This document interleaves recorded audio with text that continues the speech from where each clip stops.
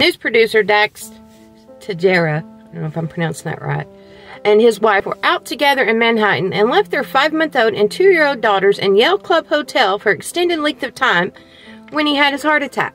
They were on the street about a block away when he collapsed and had his heart attack. Veronica was arrested by NYPD with two counts of acting in a manner injurious to a child because the police were called to the club. She apologized in her statement for leaving her children alone in the club. States, well, we had two cameras and they were sleeping. I monitored them very closely in the time that I was away.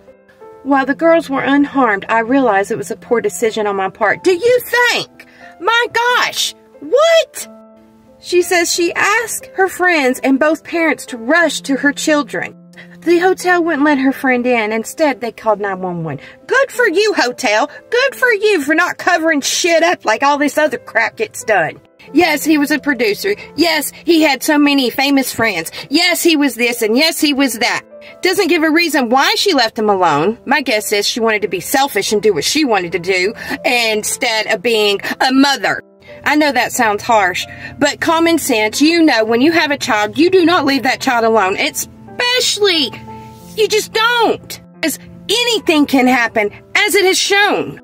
Yes, I'm sorry for your loss. It's saddening. But what if it was the two children that had gotten harmed or something happened? Anything can happen in this world this day and age.